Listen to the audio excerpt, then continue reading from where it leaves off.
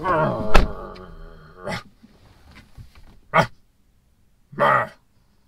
are noises I feel like I need to make inside this car. You join me inside the cabin of the 2020 Dodge Charger Scat Pack Wide Body. And this car is a relic. It's a relic of a time when a muscle car was just a muscle car. It didn't need to be as fast as a Ferrari around a racetrack. It just needed to be comfortable, loud, powerful, and BA looking. And that's precisely what the Charger Scat Pack wide body is. And we have to decide whether it's time for the muscle car as we knew it to die. Or if we should just hold on for a few more years. That's today. Ah! And there's the man maker itself. The 2020 Dodge Charger Scat Pack wide body. And boy, what a wide body it is. Now, before we get into the exterior walk around, interior walk around, and then driving impressions, a couple things. If you have not subscribed to the channel yet, please do so so you can get access to the daily videos I have for you, the POV drives, the walkarounds, the live Q&As, and of course, the reviews. And if you do not want to hear me speaking anymore, feel free to check out the POV drive or walk around day and night, POV drive, I mean, for this Charger Scat Pack wide body that is up on the channel as we speak. The night drives come tomorrow, but everything else is up right now, so you can check those out. If you are a loyal subscriber and would like to support the process of these videos being made and the stupid commentary I deliver, consider becoming a patron. I do have a Patreon for the channel listed in the video description. There's also merch. I'm wearing some of it right now. Miles per hour t shirts. I'm going to be making more t shirts. So look forward to those. And that's the end of my spiel. I've made it around to the front. Let's talk about the Scat Pack wide body. So for 2020, only a couple updates to point out, one of which is right here at the front. So the fascia has been mildly updated with this mail slot added between the hood and the front bumper that I think looks pretty darn good. It breaks up the fascia a little bit and provides some more cooling for that 6.4 liter Hemi V8. All of this front venting is functional. I do like that. What did I just say? I do like that. None of this fake stuff that we're seeing on a lot of cars, sports cars and otherwise. This is all functional. You've got a big V8 to cool. You need all the venting you can get. This one over here, channeling air over the front tires to cool those big brakes. Here's where some of your active safety features are hidden. And this one, I'm just gonna get right to it, is painted indigo blue metallic. And it is a fantastic paint color. Right below Destroyer Gray, in my opinion. Destroyer Gray is it for me. If I was to go buy this car, I would get it in Destroyer Gray. But if for some reason the world supply of Destroyer Gray just evaporated, I would go get myself the indigo, indigo blue metallic. It is gorgeous. Look at it in the sun. Pretty metal flake, deep blue color that transforms in different lighting. It's just a good looking color and is nice with the red accents, the 392 badging, not the reflector on the side. I would paint that black. And the Scat Pack badge with the B on wheels. But yeah, they all just bring out this blue so well. This one also has the dual carbon stripe. So not real carbon fiber, but it's the carbon look and it runs nose to tail. And I think looks pretty good. Haven't decided whether I would get the carbon fiber stripe. If I was going to get the Destroyer gray, I would just do no stripe. But if I was going to go with this blue, yeah, I'd probably do it. It looks pretty darn good. Also for 2020, you get standard bi-xenon headlights, not LEDs, LED daytime running lights, but not LED headlights. This one has the update or upgrade, rather, for some price I'm going to list here for the HID headlights, high intensity discharge. And then, of course, you have your hood scoop, pulling more air into that engine. No supercharger, but still needs a lot of cooling. So that's the front of the Charger Scat Pack. Let's move on to the side where we see first and foremost, because it has the wide body, you've got these massive fender flares. So you just how far they stick out. A ton. But they have to stick out that far because they need to contain these massive wheels and tires. So we've got 20 inch wheels as standard on the wide body, wrapped in Pirelli P0 tires, 305 section at all four corners. So a really solid stance. And I like the gunmetal finish on these wheels. It's actually really funny. The color of the wheels hides all of the brake dust that you will no doubt accumulate. I didn't even bother to clean the front wheels. We can see the rear here, kind of the finish. They don't have brake dust all over them, so they shine if you don't have brake dust. But if you do, it's not the end of the world because they're gunmetal and you will generate brake dust from these six piston front Brembo brakes, four piston rear, and they're on massive 15.4 inch front rotors, 13 inch rear slotted, so you've got that ventilation that you very much need. Big, big brakes, powerful, same brakes you get on the Hellcat, and they do a job of pulling this 4,300 pound sedan down from insane speeds very, very well. Great tires, plenty of grip. Your 392 Hemi badging, that's 392 cubic inch V8. Hemi. And the profile is probably where the Charger shows its age the most. It was updated in 2015.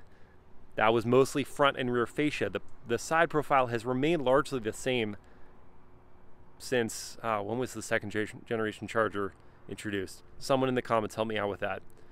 Don't know off the top of my head, but for a number of years before the 2015 update. So the profile has stayed largely the same all that time, and you can see it. It's it's a little old,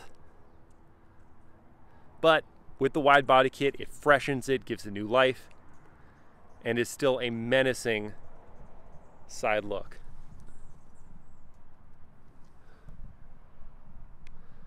coming around to the back. They redesigned the rocker panels as well to flow with the widened look of the car because it would just look strange if it was just fender flares, rocker panels went straight in. So they widened those as well. And now here at the back, see more of that width. This black lip spoiler is new for 2020 as well. It's got a matte finish to it. Subtle, but not too subtle. Not a tiny lip spoiler, but it's not a huge wing either. Enjoy that. These LED tail lights run the whole width of the tailgate, the trunk rather. Got Dodge spelled out in between. Another of the Scat Pack B badges. such a fun badge. It's really cool. And the yellow and the blue contrast nicely. And the red. Yellow, blue, and red. Typically wouldn't think those go together, but on this car they just do. And then more functional air channeling on the side. Breaks up the bodywork nicely. And then large circular exhausts in a black plastic diffuser. It's it I would normally be up in arms about the plastic, but because it's designed, it's not just a piece of black plastic. It's got designs that accentuate the exhaust and one that kind of dips down to mirror the uptick to house the license plate. So it's artfully designed. It's not just a, a blank piece, piece of black pap. Wow, that was really hard to say. It's not just a blank piece of black plastic. It has some character. So I will give it a pass. Like the rear end, and in my POV night drive, you can better see the LED light bar in the back.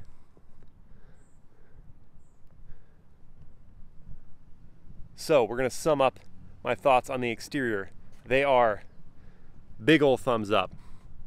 Yes, it's getting on in years, certainly, but the Charger still looks so BA, and this wide body kit just amps it up a few more notches so that you're not gonna mistake it for a regular Charger. You just can't. If you got the narrow body scat pack, maybe if you were just completely missing things, you could confuse it for the SXT or the GT, but not the wide body scat pack. This you're gonna know is more muscle. And certainly compared to other sedans in this space, it stands out.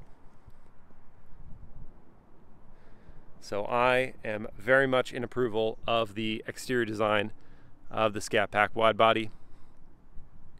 And that brings us to the interior. Let's head on in.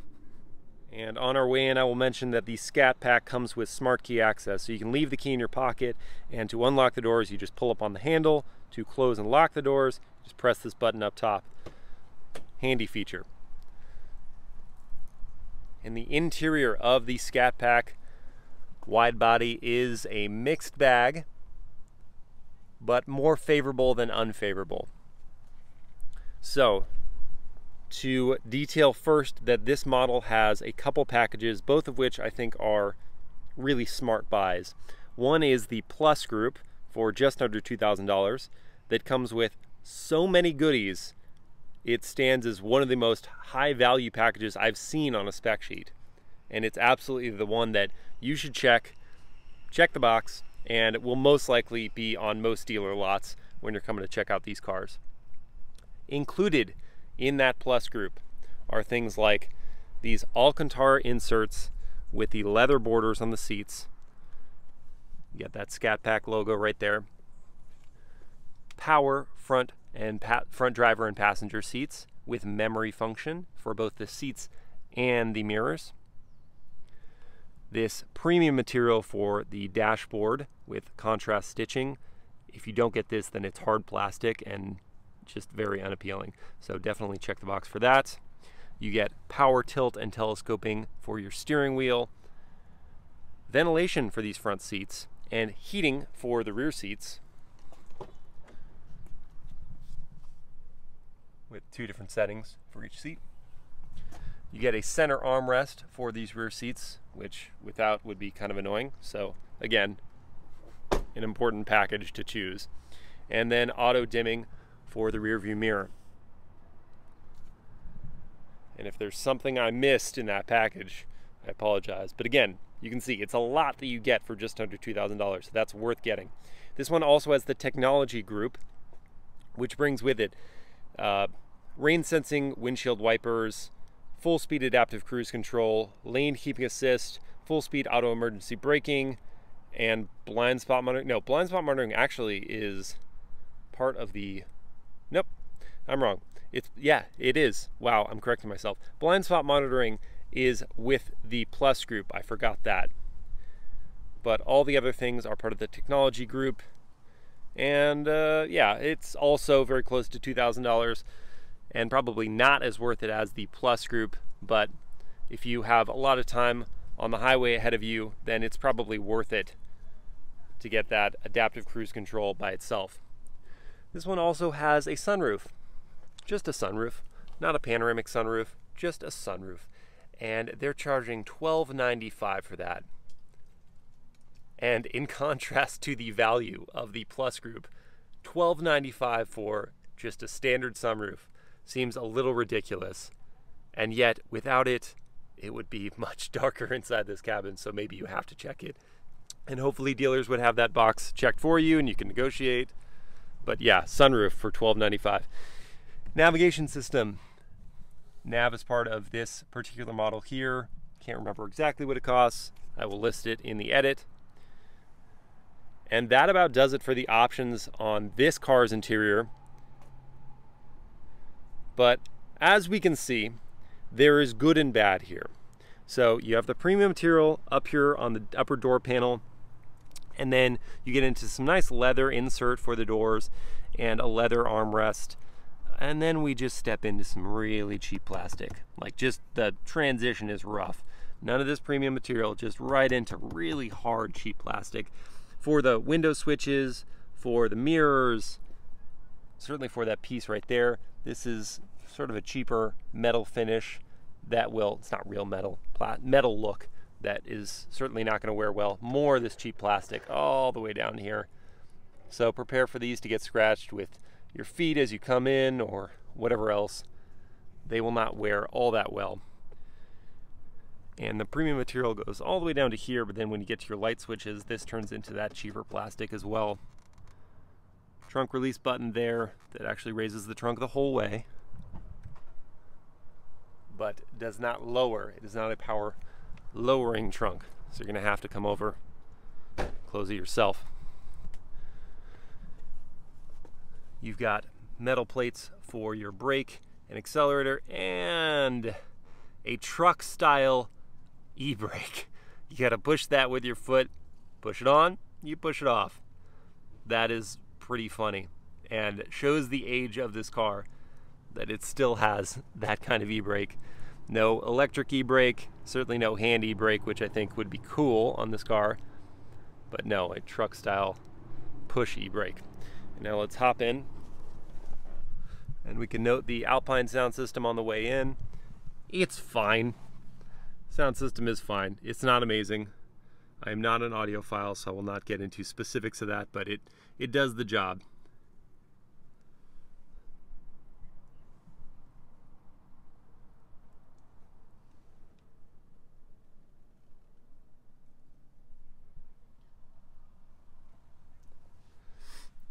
Right, now we can get into some other material quality things. So harder plastic for the wheel, along with this chrome trim, which will very soon be scratched with something and won't wear well, guarantee it. But that's going to be a few years, hopefully, before that looks garbage. Plastic pieces here for your controls, for adaptive cruise control, along with this metal finish. This is more high quality than this chrome trim, so that will wear better. This leather wrapped steering wheel, part of the Scat Pack, and then the wide body makes it a flat bottom wheel more controls over here, and pedals, or paddles, sorry. Paddles for down and upshift. And boy, do I have a rant to make for this. So the paddles themselves are tiny, as you can see. They only stick up, you know, an inch over the steering wheel bar and probably are a full inch and a half, two inches. Then you have some controls here for your infotainment system. The fact that these paddles aren't any longer or any easier to access is frustrating because if you want to go into manual mode, you have to put two inches, or your, your, your two fingers behind the paddles and use those. And you got to be right in the right spot or else you're not going to get a gear shift. So it just, I want more paddle. I want more paddle. And it's frustrating. Same deal on the right side. Got some controls back here below the paddle ease of use, sure, keeping your hands on the wheel, but I, I want more, more paddle in my performance sedan. Uh, so you get your B logo doing a little animation to start up the car, and then a big color. Well, calm down, AC. Calm down. Big full color display in between some analog gauges. These are cool looking analog gauges. Very muscle car esque Got some textured look in the center of the dials, red borders, and then this metal finish surrounding. So it's got some dimensionality to it.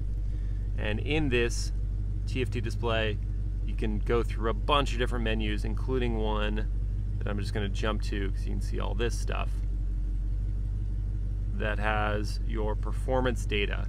So you can slot through a bunch of different timers and gauges. I think there's a G-force, yes, G-force meter on here as well. That's cool to have right in front of you. No head-up display, but some cool information right in front of the driver. The feel of the wheel is excellent. You've got some perforation at 9 and 3. Good size for the hand. And then we come over to some other finish here. So this has a touch of texture. Not much, but a little bit of texture that gives some depth and some difference to the trim. So you have that premium material going all the way across. You got your 392 badge yonder. Hard plastic down here with the glove box. Good sized glove box though. I mean, really generously sized glove box.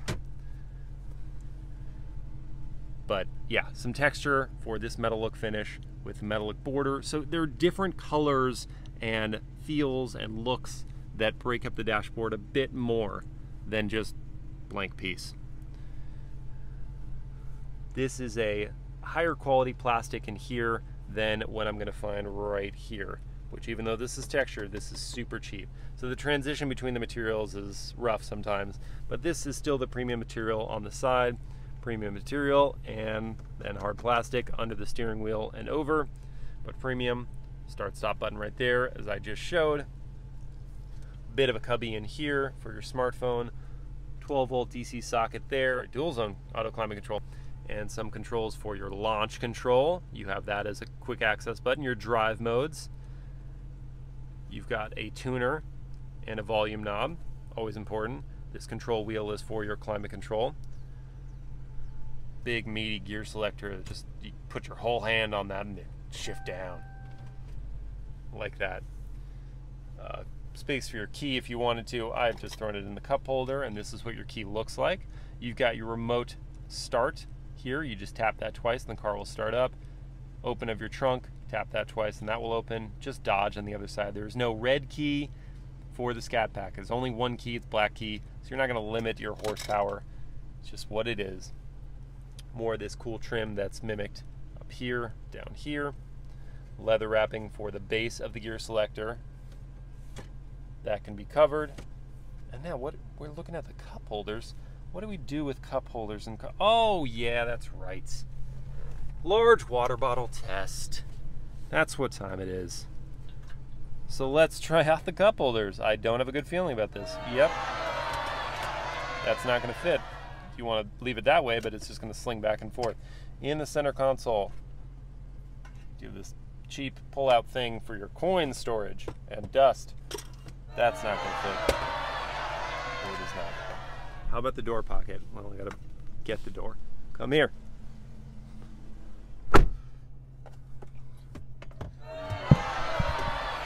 Nope. That's a no-go. Not going to fit in the door pocket. So we are striking out all around here last ditch effort, the glove box. It was big, but it had a divider in it. Oh, it's not. Just not gonna fit anywhere. So a full-on fail the large water bottle test for the Dodge Charger. Scat Pack or otherwise. That's, oh man, really depressing stuff. Very depressing. But yes, you do have standard size cup holders and then in the center console, as I already showed, is that pullout. You've got two USB ports, not USB-C, and one aux, but the rear passengers have two USB ports as well. So everyone's got a plug-in.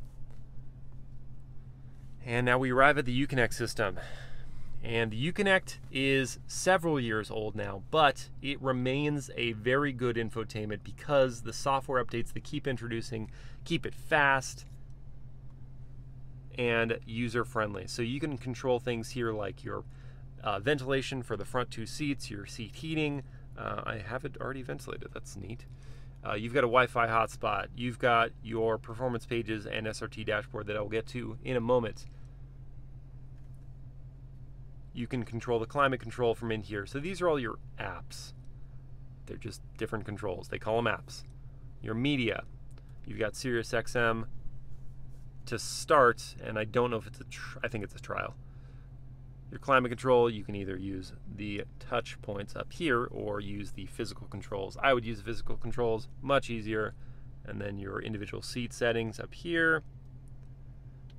And uh, navigation. So I did mention this one has navigation as an option. The map is, uh, well, it's getting on in years. I wouldn't pay extra for this navigation system, let's put it that way. It's fairly responsive and you can see what you're looking at pretty easily, but it's not cutting edge in terms of visuals or anything like that. Apple CarPlay and Android Auto are standard. Then you've got your settings, and that about does it, except for the performance pages. So let's go on over to performance pages. In here is nestled a lot of cool stuff. You can already see the smudges on the screen, by the way. It is 8.4 inches, the size of the screen. Just giving you fact while performance pages loads because it takes a while. So you've got some cool things like an active power and torque meter, some gauges, timers. So you can do drag timers or your acceleration braking. You can do 0 to 60, 0 to 100 timers. Hopefully you're doing the 0 to 100 in a safe spot. G-force meter. Engine.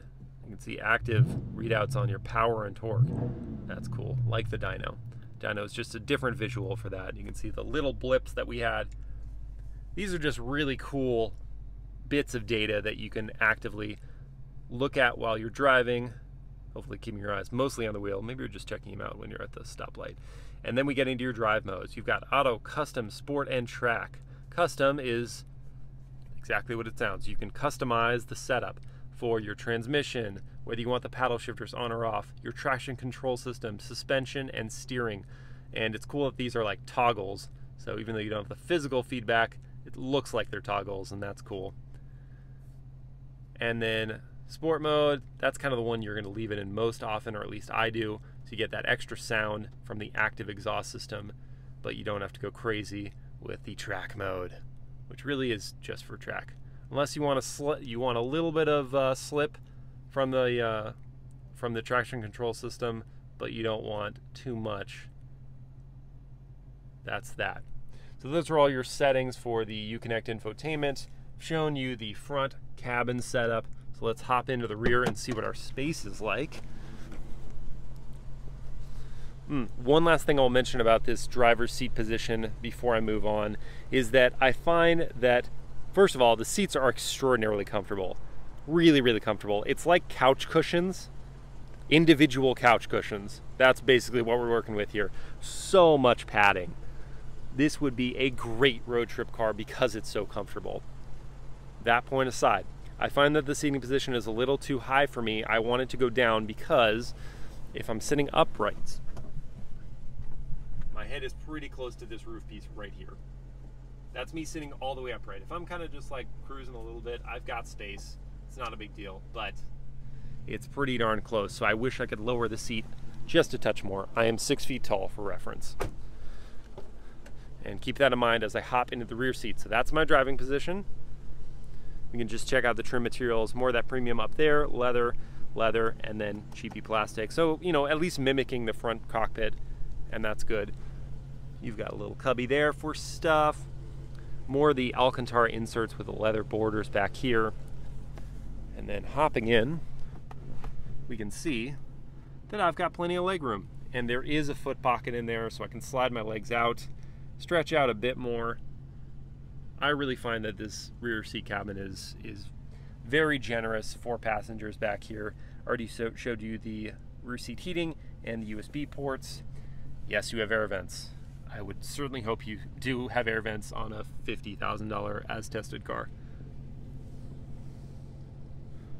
center console or your armrest has some place for I don't know what you would store in there. Good size cup holders, though not big enough for your large water bottle. I'm sorry. And what's your headroom situation like here? Acceptable. So this is I'm sitting how the seat is angled. You can't adjust the seat angle at all, but I'm sitting how it's angled and I have headroom. Headroom. Not a ton of it, that's glass up there, not a headliner, so you really wouldn't want to your head on that. But I have some headroom. Uh, the only thing I don't like about this backseat area is the the pillar is just right here in my face. So when I close the door, Yeah, I've got window, but the pillar is just right there. So you look over, I'm staring right into the pillar. It's the only complaint for the back seat. Now let's look at the trunk. To open, you press this button here, and we find a 17 cubic feet of space trunk. So good size. And this cutout on either side means that you could take a set of golf clubs or two with you. And these seats fold down, though not with controls right here. No power or no manual controls to fold the seats down from here, which means you have to go back to the rear seats and find the fabric poles. Yes, they are fabric poles to make the seats go forward, and they don't go all the way flat. It's got a small angle to them. But when you fold those down, you can carry with you some longer items for your practicality. But the trunk itself is good size. You shouldn't have any problems carrying your normal errand run in here. And again, you'd have to manually close that. So that's the interior of the Charger Scat Pack. Some cheapness you can find, but certainly all the things you would need on a day-to-day -day basis for comfort and convenience and definitely check the boxes for the plus group package. Worth every penny. All right, let's go drive it.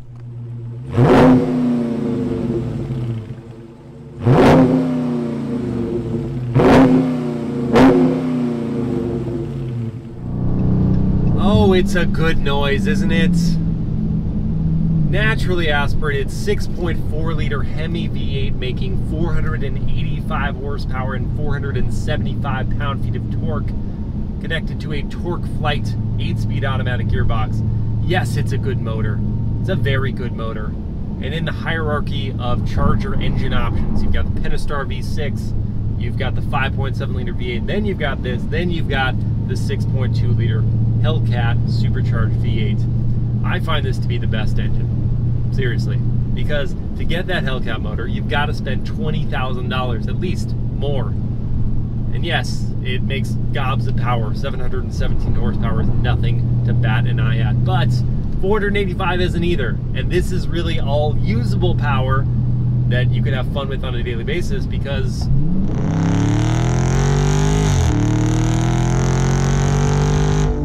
goodness, the fuel gauge just like actively dipping. The fuel economy is not great.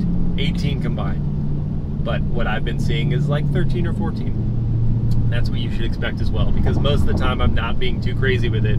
It's just really bad on gas. But it's what you get from a V8 muscle car.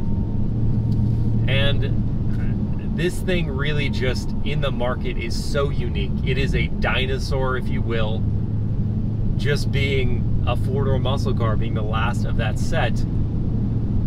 But everything it does, it does well. It does well to modern standards because of the wide body kit and the tires and the brakes and the adaptive suspension, the stiffer anti-roll bars front and rear that you get, it can really handle like a sports car, but then it has the muscle car elements. You can line lock it, so your rear tires are just gonna smoke. Or you can launch control it, so you'll just blast off 0 to 60, 4.3 seconds. Top speed 196 miles an hour. You can definitely blast off.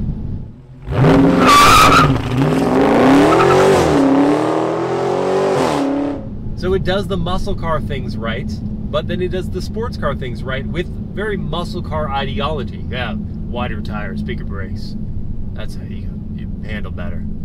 And it works. It just works. It's not getting sophisticated with electric systems and all that jazz. It just does it the tried and true ways, and they work. Then you get into how livable is it? How, how daily drivable? And the answer is supremely. I've already talked about these seats and how comfortable they are. They're comfortable when you're throwing yourself back in them, accelerating with the G-force, and they're comfortable just cruising around. They just hold you in place. They're just big couch cushions. They're wonderful. And the visibility in here is excellent. You don't have any of those swoopy roof lines like the coupe design sedan, so you don't have a huge blind spot in the C-pillar it just it knows how to do the sedan formula right, how to be a daily driver. And then the road noise. I'm at highway speeds right now, doing 65. It's relatively quiet in here. This, the cabin insulation is excellent, despite the fact you've got these big old tires and they're performance tires.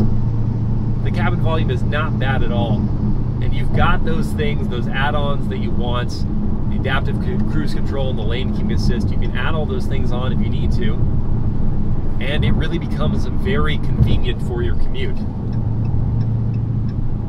But back to the performance, because that's what this is, that's what it does. It's so good. It handles itself so well and predictably in a corner. And then a second later, you turn off the traction control and you do something dumb. Like slide it.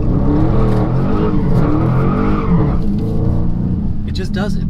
It just does it. It does whatever you want it to do, whenever you want it to do.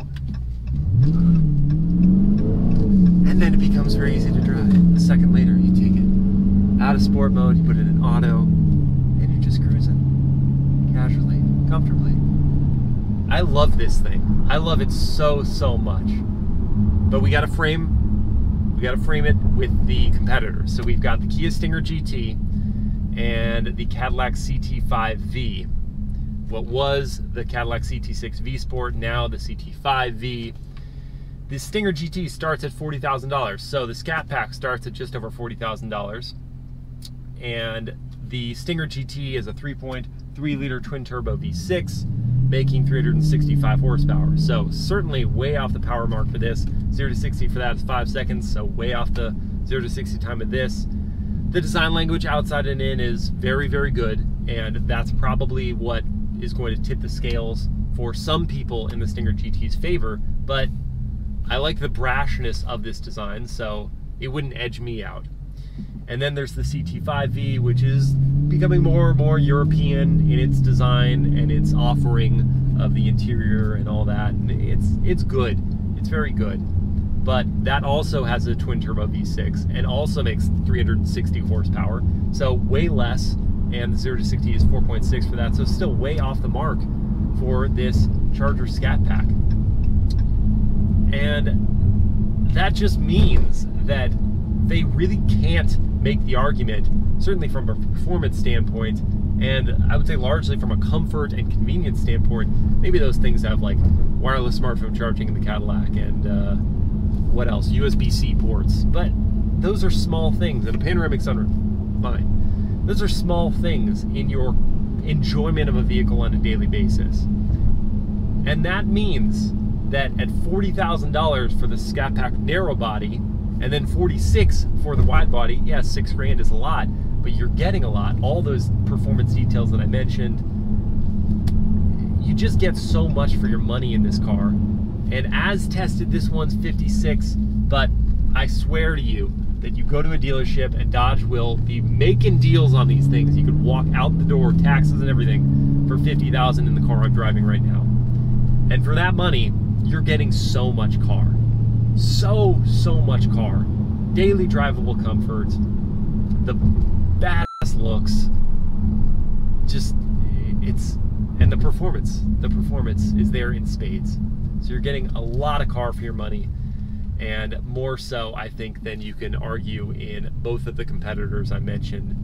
And it's it's really just a last hurrah for the muscle car with four doors, because this car is going to convert into an Alfa Romeo Giulia platform-based sedan. It's going to target the European cars, and it's just going to transform from what it is, and lose some enthusiasm from certain fans in the process, myself included but until then, just enjoy it for what it is, which is nuts.